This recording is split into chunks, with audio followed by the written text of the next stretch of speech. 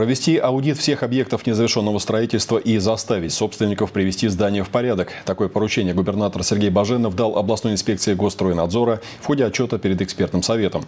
По словам руководителя ведомства, результаты проверки будут направлены в органы местного самоуправления. А если и после этого замечания не будут устранены, то к решению проблемы подключится прокуратура. Людмила Кухарева продолжит тему. Функции облстройинспекции входит контроль в сфере долевого строительства и государственный строительный надзор. В прошлом году специалисты ведомства провели почти 2000 проверок и вынесли 250 постановлений об административных нарушениях.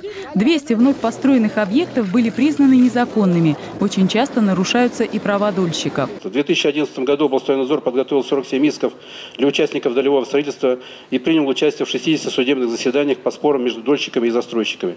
Также инспекция инспекции оказывается консультативная и разъяснительная работа с участниками долевого строительства.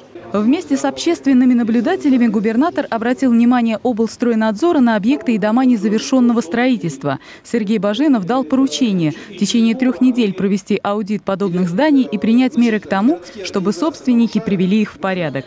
Из-за того, что такие дома не сданы как положено в эксплуатацию, казна теряет налоговые поступления вы подготовите в течение там, трех недель, например, да, заявление в органы местного самоуправления, и вместе с фотографиями этих объектов разместим в средствах массовой информации, в печатных и в электронных СМИ.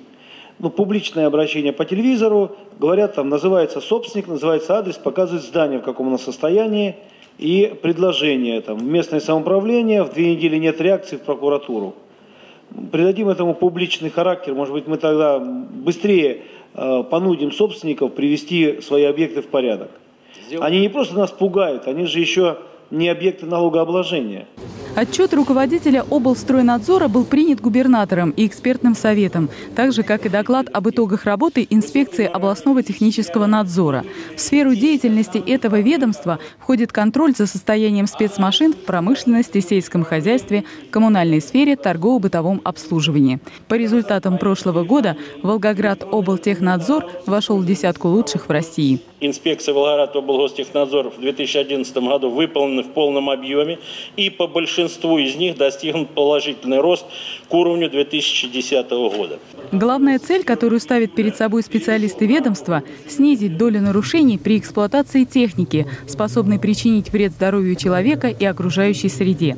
Кстати, благодаря проведению профилактических операций, таких как трактор, снегоход, прицеп, фермер, количество ДТП с участием спецтехники в последнее время в регионе снизилось в два раза.